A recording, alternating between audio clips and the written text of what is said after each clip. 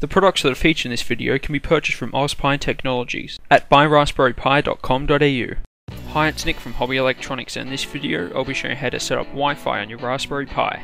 This particular Wi-Fi adapter comes with the Wi-Fi dongle and an attachable antenna. On the back of the packaging for this Wi-Fi adapter, it states all of the specifications for the device. Okay, so let's begin by attaching the USB dongle to the antenna.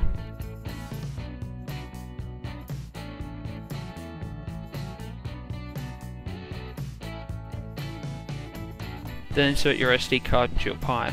As we'll be setting up the Wi-Fi on this device over SSH, we'll be needing to connect our Pi to a network. And then power up your Pi. Then lastly plug in your USB Wi-Fi adapter to one of the USB ports on the Pi. Then log into your Pi over SSH.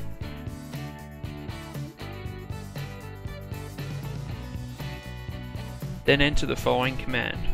Then in the file you should see something like this. If not, fill in the missing lines.